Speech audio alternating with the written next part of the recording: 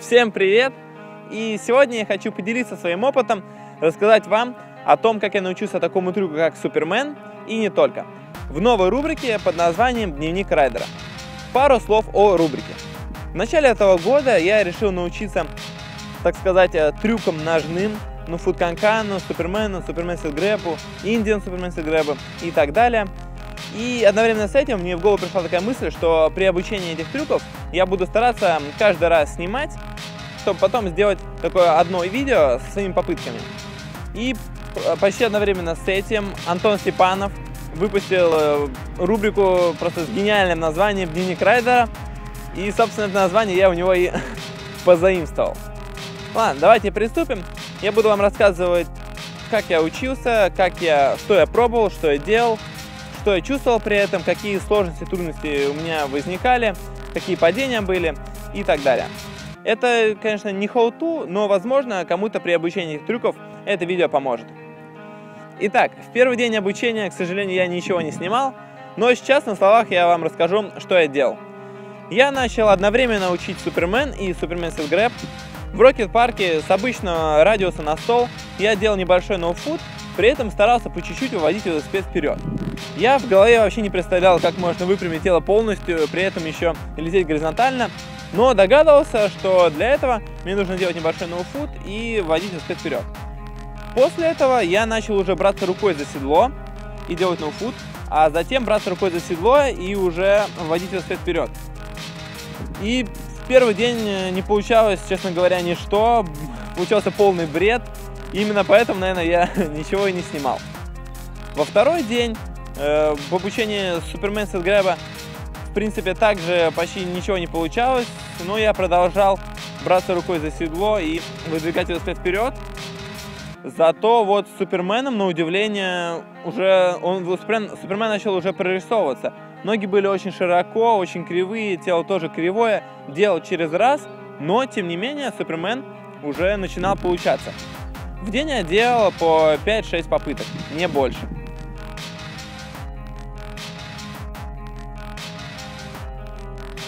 На третий день было все наоборот.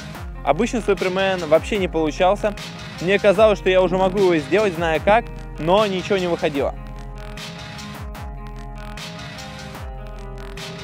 Зато начал получаться Супермен Сингрэп. Я уже брался уверенно за седло и вводил велосипед вперед намного лучше и качественнее, чем в предыдущие дни. Ощущения при этом, кстати, были очень крутые. Новые ощущения в катании. А на четвертый день обучения Супермен с Эдгаром было уже совсем все здорово. Я кайфовал с каждой попытки и понимал, что с каждым разом я делаю все лучше и лучше. И в этот день я уже старался даже выпрямлять тело.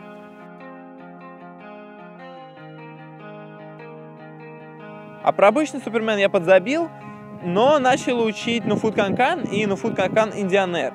Получалось почти сразу, правда было одно очень жесткое падение –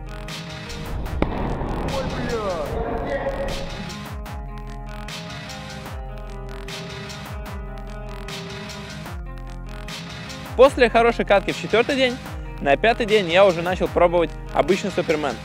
И из-за того, что в предыдущие дни я понял, как выпрямлять тело в Супермен Сетгрэбе, у меня стало получаться выпрямлять тело и в классическом Супермене.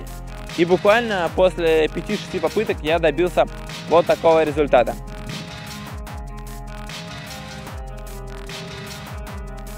А вот Супермен с Грэбом в этот день меня ждали первые падения – я уже думал, что умею этот трюк, брал много скорости и падал. Тупо не ловил руль или еще что-то.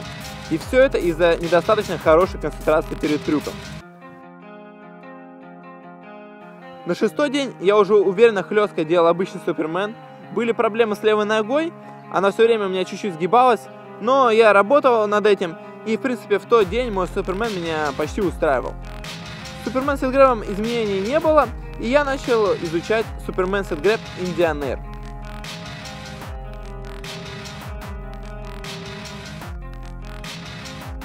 После шести дней обучения катался я при этом два раза в неделю, в скейт-парке Жесть Rocket.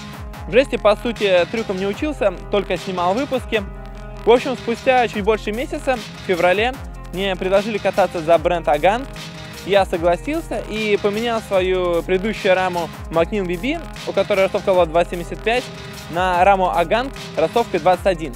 И это мне сразу понравилось, так как э, я высокого роста, у меня рост больше 180, и на ростовке 21 мне удобнее и комфортнее кататься. Соответственно, удобнее и комфортнее делать э, те же трюки, там, ну, Футанкан, Супермен. И сразу после замены рамы я снял выпуск о трюках второго уровня, и во время этих съемок я достаточно хорошо прикатался к новой раме.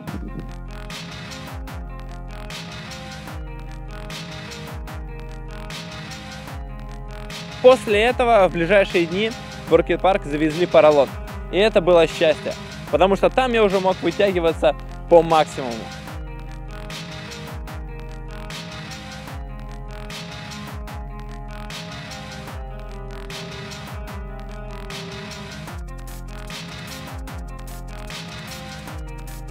И делать Супермена было очень круто. И, конечно же, в поролоне я мог бы научиться этим трюкам намного-намного быстрее. Еще через несколько дней мы начали снимать Welcome ID для Ганг, где я уже делал Superman Speed Grab Indian Air через Funbox.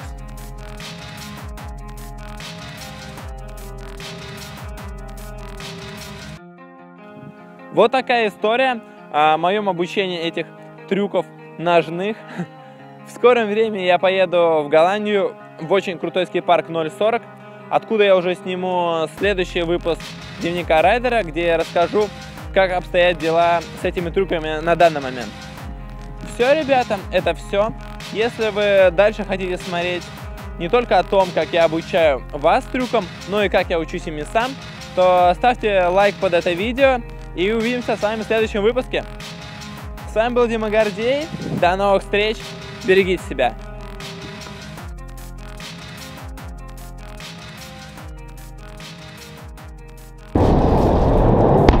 Да нихуя.